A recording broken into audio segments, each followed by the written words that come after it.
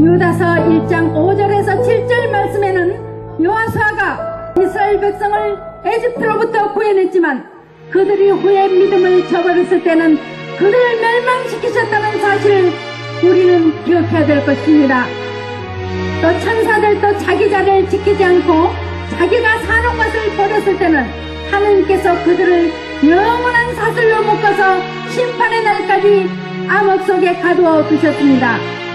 그리고 소돔과 고모라 주변의 도시들도 그들과 마찬가지로 음란이 흐리고 비정상적인 유격에 빠졌으므로 영원한 불의 형벌을 받아서 후세의 본보기가 되었습니다. 구약시대에는 그랬지만 지금은 단 한 영혼이라도 버려지는 것을 원치 않으시는 예수님과 성모님의 계시기에 죄인들을 단지하지 않으시고 눈물과 피눈물 흘리시며 우리에게 오시어 모든 허물과 추한 때까지도 깨끗이 씻어주시고 닦아주시고 막힌 곳을 뚫어주셔서 병든 영혼을 구하고자 하십니다.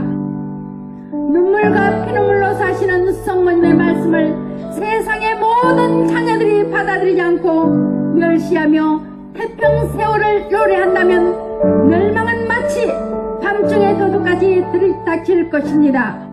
그러니 주님과 성모님을 안다고 하는 우리들만이라도 껴서 기도하며 세상과 타협하지 않고 성모님의 말씀을 따라 악을 선으로 바꿀 수 있도록 희생과 보석으로서 성모님의 찢긴 성심을 키워드리고 위로해 드립시다. 우리를 위하여 흘리지 않으면 안 될 성모님의 눈물과 피눈물을 생활로서 닦아 우리들의 삶 속에 함께 생활하실 수 있도록 해드립시다.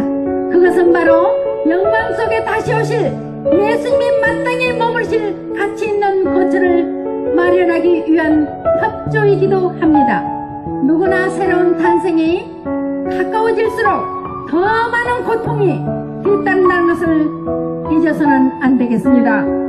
우리들의 추한 때와 죄까지도 해결로 이끌어 깨끗하게 씻어주시고 수혈해주고자 하시니 그것은 바로 주님과 성모님께서 우리 모두를 그토록 사랑하신다는 증거이며 기약의 피입니다.